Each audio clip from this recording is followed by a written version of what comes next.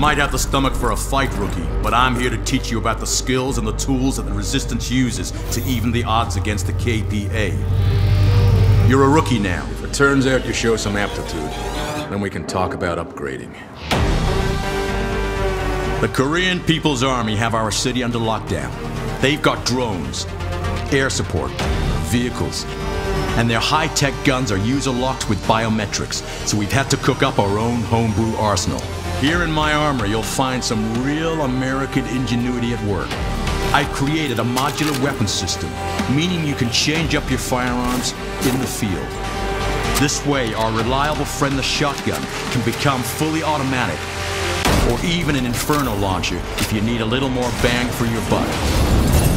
Now every base weapon has multiple combat configurations, but it doesn't stop there. You can swap out our universal attachments on the fly and customize any one of three hard points.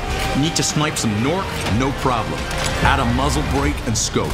A resistance fighter adapts to the situation. That's how we survive. But guns will only get you so far.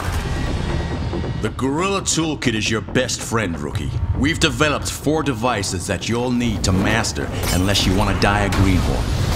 Incendiaries are great against personnel, and an IED gives you an explosive solution to heavy armor. If you're in the mood for something a little more versatile, we've got the hack tool. It'll fry security cameras and turn drones and automated turrets against the KPA. And if you need to outflank the enemy, the distraction tool can buy you some time. Each item in the toolkit can be deployed in multiple ways. Throw it, trigger it, or lay a trap. But my personal favorite is the RC car. Nothing beats a mobile IED. You can craft in the field, so be sure to scavenge for resources.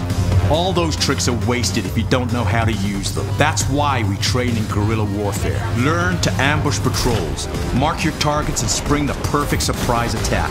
Then get the hell out before the reinforcements arrive. If you need help, recruit other freedom fighters to fight alongside you. Have the mobility, but sometimes you need pure speed. The bike lets you navigate this open world fast. If you want to get sneaky, wait until nightfall and attack your targets. Equip your weapons with silencers, or take them down close and personal. They would do the same to you in an instant. You have to know when to fight, when to run, and when to hide.